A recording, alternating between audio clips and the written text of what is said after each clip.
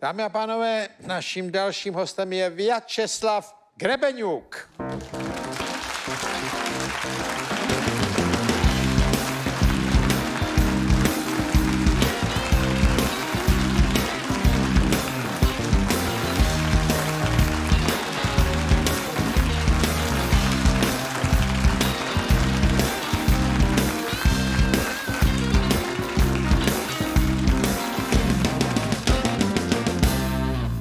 Pan Vyačeslav Grebeňuk je lékař na Bulovce, na oddělení Na klinice infekčních nemocí. klinice infekčních nemocí, ale přišel jsem z Ukrajiny, že jo? Ano, je to tak. V kterém roce? V roce 2012. 2012. A tam u vás se začínalo s covidem, že jo? My jsme od vás tady měli tenkrát paní doktorku. Když covid začínal, tak vlastně Bůlovka byla jedno z prvních míst, kde jste se s tím setkávali. No ne? vlastně to bylo vůbec první místo, No, vůbec kde první. byly diagnostikovány první tři pří- případy eh, covidu na území České republiky. no. A vlastně to bylo v březnu, 1. března eh, 2020 a od té doby covid se ví- víceméně stal naší hlavní pracovní náplň. náplní. No jo, to je pravda, on překonal všechny ostatní v té kvantitě a tak dále.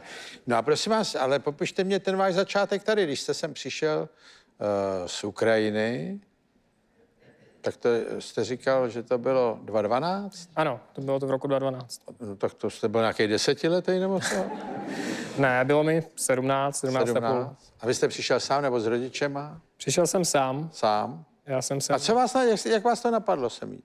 No, to byla víceméně náhoda. Eh, Já jsem eh, docela dlouho pomýšlel, že bych eh, se někam odstěhoval kvůli studiu. A měl jsem nějakou kamarádku, kamarádky, která mi doporučila právě Českou republiku, tak jsem to zkusil a hm, vyšlo to. Jste měl kamarádku, kamarádky, která vám doporučila Českou republiku. Víceméně jo. Jo. A jako s tím, že to bude dobrý studovat tady medicínu, jo. Jo, mimo jiné. Mimo jiné. Takže vy jste sem přišel. Tak když jste přišel takhle sám, to muselo být docela těžký, nebo jste přišel s někým? Eh, Já jsem přišel úplně sám, ale eh, první rok jsem stravil eh, ve speciální jazykové škole, která vlastně byla taky zaměřena na přípravu na přijímací zkoušky na medicínu. Tam jsem nebyl sám, tam nás bylo asi 200 studentů, eh, kteří byli v podobné situaci jako já, takže eh, bylo to poměrně, eh, byla tam dobrá atmosféra. Jo. Našel jsem si tam spoustu kamarádů a zas tak sám jsem se necítil. No necítil, ale přišel jste sám vlastně. Ano, Jo. No tak jste byl na jazykovém kurzu a pak jste dělal zkoušky na... pak jsem dělal přijímačky a tak jsem se dostal na druhou lékařskou fakultu v. Praze, Mm. kterou jsem dokončil a od roku 2019 pracuji na té Bulovce. A pak jste odešel na tu bulovku. No teď už asi tady sám nejste, ne?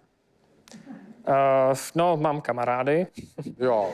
No to máme všichni a... Kamarádku jako... Tuto chvíli ne. Teď ne, jo. Mhm. No to nevadí, no tak no. Já si taky myslím, že no ještě to, má, ono je dobrý čas. taky, taky přestávka, odpočnout si a tak. Ale měl jste asi kamarádku, ne? Ano, Jo, jo, jo, jo. život, jo. Ne, tak dobrý, no.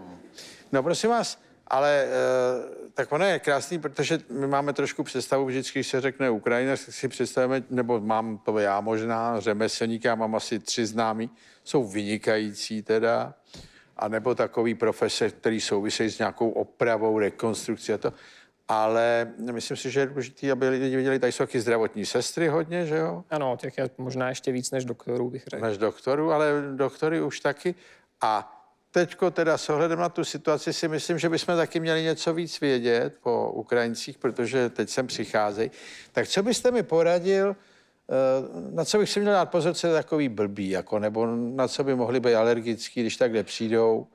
Eh, a jsou tady noví, vyplašený, teďko jsou to hlavně ženy s dětma, že jo.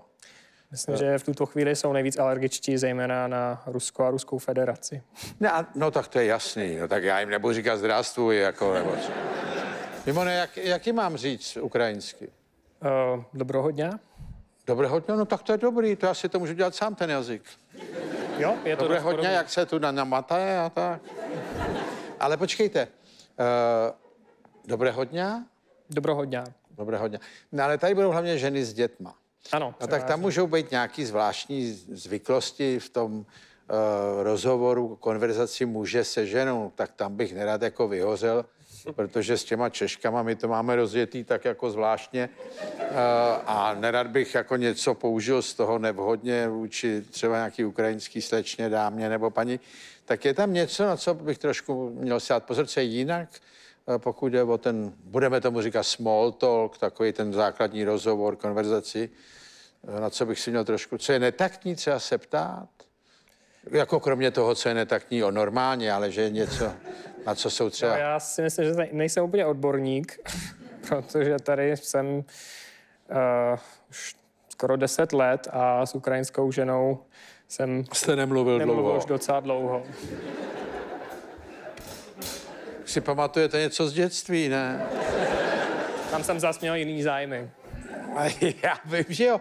Ne, tak eh, je tak něco, co jste si vyvšimnul za tu dobu, co jste tady, že máme jiný zvyk, než je u vás a je to trošku věc, na kterou ten Ukrajinec eh, není zvyklý, tak se s tím musí třeba opatrně nebo mu to vysvětlit, že to není... No, já myslím, že ženy uh, na Ukrajině se obecně víc dbají na uh, svůj vzhled, mnohem víc používají make-up a mnohem víc se oblíkají, když někam jdou a taky očekávají takové víc, uh, víc uh, konvenční vztahy, kdy vlastně ten ten, ten člověk, co vydělává, je ten muž a vlastně uh, se, se víc, víceméně stará o tu ženu mm-hmm. a dávají různé dárky a to, počkej, je tam to asi vypadá, více žen v domácnosti. A a tak že jsou podobně. nároční, takhle, jak se to popsal. Jsou? Že se víc malujou, více jako oblíkají, jako že si potrpějí na tu módu a ještě teda čekají, že muž se jako postará, ještě nosí dárky, jo. To co nakládačka takhle jako Ano. v kostce. Uh, a na to více oblíkají znamená co? Jako, že víc trpějí na módě? Nebo že si berou víc vrstev? Nebo Uh, obojí. obojí? Na Ukrajině, Několik drahé šaty, jo? no, na Ukrajině obecně věc, víc zima v zimě, takže Ano. to je jeden důvod. Jo, tak to je jeden. No. Druhý důvod je, že uh, ano, to, to je opravdu o té modě, Jo, že mnohem víc si dbají na nějakou, na, na ten vzhled. Když třeba jdou někam do obchodu, tak eh, často si vezmou, nevím, šaty, podpatky a tak podobně. I do obchodu, jako. No, ano, víceméně. No a pak, že spíš jsou zvyklí na ty konvenční vztahy, tam jste naznačil, že teda ona se spíš stará o domácnost. Mm. No a když budeme sami dva, tak uh, ona bude doma v těch šatech a já budu v práci a Asi víceméně, ano, takhle to funguje. jo, a ona půjde v těch šatech nakoupit a pak se vrátí a bude čekat na mě. Ještě asi vládne uklidit a něco uvařit. Něco. Jo, a to vaření třeba. Uh, vaří normálně třikrát denně, jako... No, abyste mi neřekl, u nás je takový zvyk, že se jí jenom v úterý. Záleží, záleží na vašich potřebách. No ne, tak dobrý je, když žena vaří spíš víc než míň, znáte to. Vždycky to máte komu dát, můžete se podělit, než když tam nic není, tak to je na zešílení, že jo? No, tak obecně bych řekl, že ukrajinští ženy, ukrajinské ženy vaří rády, zej- Jo. zejména starší generace, babičky. No tak mě by zajímalo i mladá generace. I když je jasný, že ta nebude doma vyvařovat, že jo, ale mají pozitivní vztah k vaření taky. Uh, auto a takovéhle věci, To by uvítali. to by... Čili Evropanky. Ano, Teď mě řekněte jako lékař, tak uh, vy jste specialista na infekci? ano, víceméně. Jsem Jo. mladý specialista na infekce, takže Jak teprve, mladý? teprve se učím, ale Jo. uh, je to v plánu, ano. No v plánu, tak když jste to vystudoval, tak máte nějakou praxi, no, tak jste mladý, tak to je jasný, že ještě nemůžete vědět všechno. Ale tak eh, covid, teď se říká, že na covid jsme zapomněli kvůli eh, horším věcem, ale jedna z prognóz je, že se na podzim zase vrátí, nebo co? No tak to bylo vždycky v těch posledních dvou letech. Jo. A samozřejmě po každý ta další vlna byla o něco menší, nicméně si myslím, že to je něco, co s námi tady zůstane ještě na další dobu. Ježíš Maria, se znovu... Nás to taky nebaví. při představě, že to ještě dostaneme na podzim, tenhle bonus, no tak eh, teď už trošku s tím umíme zacházet celkově líp, ne? Dá se to říct?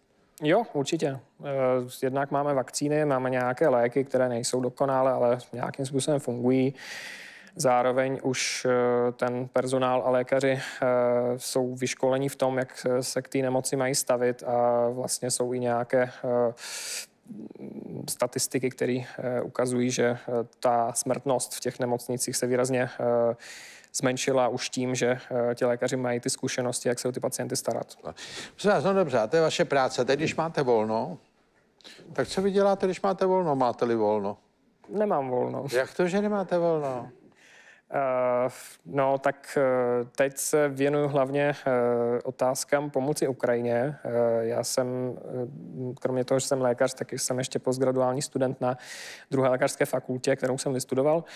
A tam jsem se zapojil do koordinace různých projektů pomoci Ukrajině a ukrajinských studentů. Uh-huh. Takže poslední týden jsem se zabýval hlavně tady těmihle aktivitami. aktivitami no. No tak ono, to zase je dobře, protože vy to znáte, to prostředí a taky se tam dobře domluvíte. Ale ona, mě ta ukrajinština přijde docela srozumitelná. Opravdu? No tak je pravda, že ty, co jsem s nimi mluvil, vlastně mluvili česky hodně. Oni měli trošku jiný přízvuk, já to bral jako ukrajinštinu, ale... Nebyli z Moravy? Nebyli, ne, moravštinu poznám. Těm já nerozumím ani slovo, ale ne, ne, ne, ale uh, no přijde mně to tak, uh, není to, není to jako ruština, ale takový je to něčím, mně to přijde aspoň částečně srozumitelný. No tak rozhodně pro nás, Ukrajince, bylo poměrně jednoduchý se naučit česky. Víc, bylo to jednodušší než třeba pro, pro, pro, pro Rusy. Jo, Jejichž jazyk je, má spoustu roz, odlišností od češtiny i od ukrajinštiny. A já třeba vím, že máte v ukrajinštině vodná slovo, to mě zaujalo kalhoty, ale vy říkáte galhoty, prej. No, tak to... A znamená, a znamená to punčochy, ale nebo... Jo. No a my jsme rádi, že jste si od nás něco vzali. od nás si berou. My tomu říkáme kalhotky. No ne, kalhotky jsou něco jiného. No to u vás je to něco jiného, u nás jsou to právě punčochy. Počkejte, vy říkáte uh, kalhotky punčochám? Jo. Tohle může způsobit velký nedorozumění. Ano.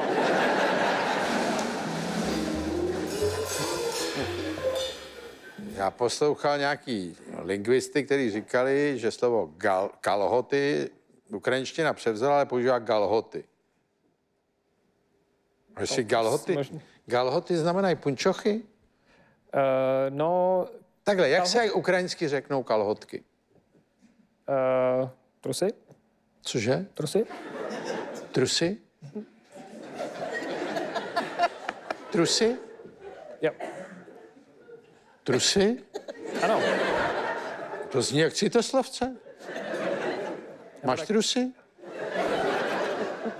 A jak se řeknou kalhoty? Uh, punčochy. Kalhotky. Jo, tak to nás čekají velký problémy.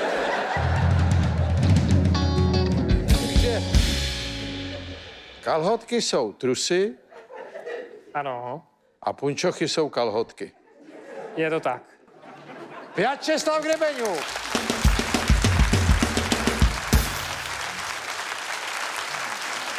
Dámy a pánové, já vám děkuji za pozornost. Těším se s vámi za týden na schanou u divadla Archa nebo u televizních obrazovek a mějte se krásně.